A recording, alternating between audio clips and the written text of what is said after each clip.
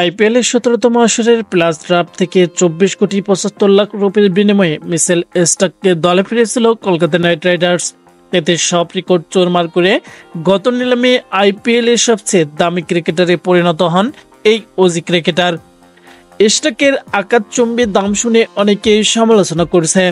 তাদের একজন সুনীল গাভাস্কার।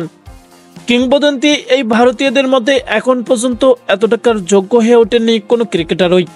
স্টার স্পোর্টসকে দেওয়া এক সাক্ষাৎকারে গাভাস্কার বলেন, সত্যি বলতে এটা একদমই বাড়াবাড়ি।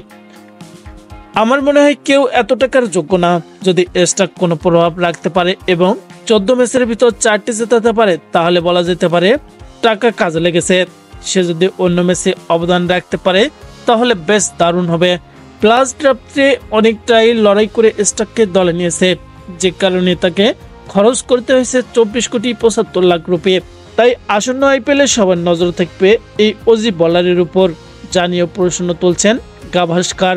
তিনি আরও বলেন, Mumbai Indians, Chennai super kings ও রয়্যাল চ্যালেঞ্জার্স বেঙ্গালুরুর মতো বড় দলের বিপক্ষে স্টাককে পারফর্ম করতে হবে।